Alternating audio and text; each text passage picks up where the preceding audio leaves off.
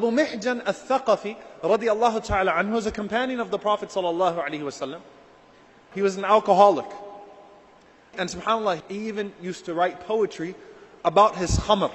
And one of the things in his wasiyah, in his will to his children, he said, if I die, I want you to soak my grave with khamr so that my bones can absorb it.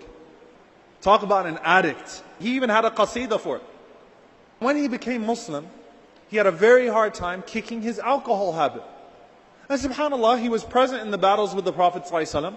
He was with the Ummah, but he would routinely be lashed because he kept getting caught drunk. And this was something that continued even through the Khilafah of Abu Bakr radiallahu anhu, even as he became an old man in the Khilafah of Umar ibn al-Khattab radiallahu anhu. Then in the Khilafah of Umar ibn al-Khattab radiallahu ta'ala anhu, as the Muslims were at war with the Persians in the battle of Qadisiyah, fighting that great oppressor of Kisra, liberating even the people of Persia from their ruler and from their emperor. He was drunk again. And Sa'ad ibn Abi Waqqas anhu was the commander of the army. He had to lash him again. And then when the battle of Qadisiyah started, you know what the punishment of Abu Mihjan radiallahu ta'ala anhu was? You will be chained up while we go fight the battle of Qadisiyah.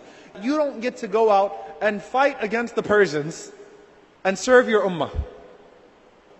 Abu Mihjan cried and cried and cried and he begged Sa'id radiallahu ta'ala anhu, do not forbid me from serving Allah.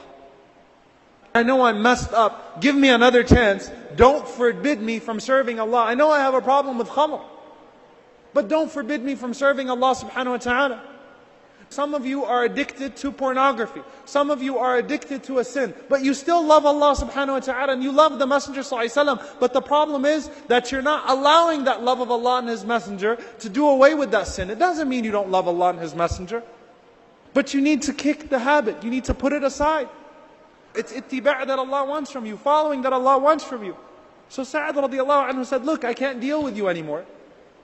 I'll deal with you after the battle of Qadisiyah. So he ties up Abu Mihjan in a chamber right next to his house. And as he leaves for the battle of Qadisiyah, the wife of Sa'd radiallahu anhu, Salma radiallahu ta'ala anha, she hears Abu Mihjan crying loudly.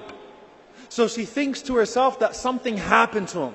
So she runs to the chamber to see what happened with Abu Mihjan radiallahu ta'ala anhu, and she says, what's wrong, Mabik? And he started to say again, لا تحرمني من خدمة الله. Don't forbid me from serving Allah subhanahu wa ta'ala. Let me go and fight with them. Salma said, How am I supposed to let you go fight with them? My husband, who's the commander of the army, he tied you up. What will assure me that you will come back?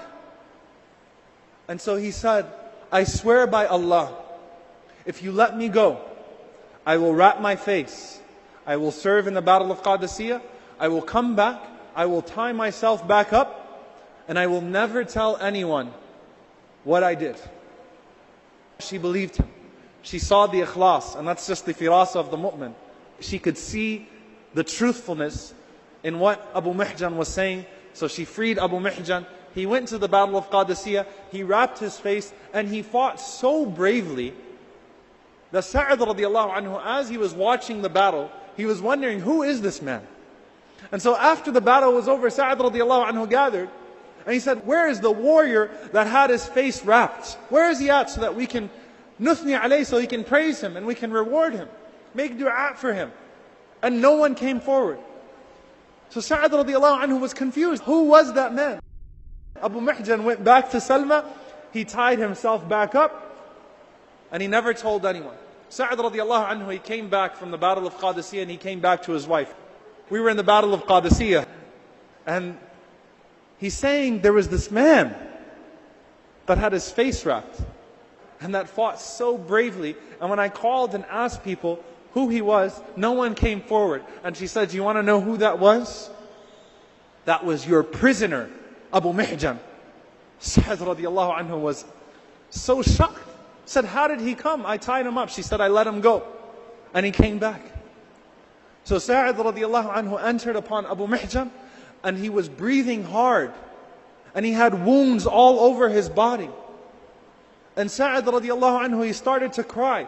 And he hugged Abu Mihjan. And he said in the ear of Abu Mihjan, he said, Wallahi, I will never lash you again, even if you drink. After this action of yours, and of course he was saying it as a means of expression. I can't lash you ever again. Abu Mihjan, he cried and he said, Ya Sa'ad, Wallahi, I will never return to drinking alcohol again. And he never did. Why? Because he realized that there was a cause that was greater than him.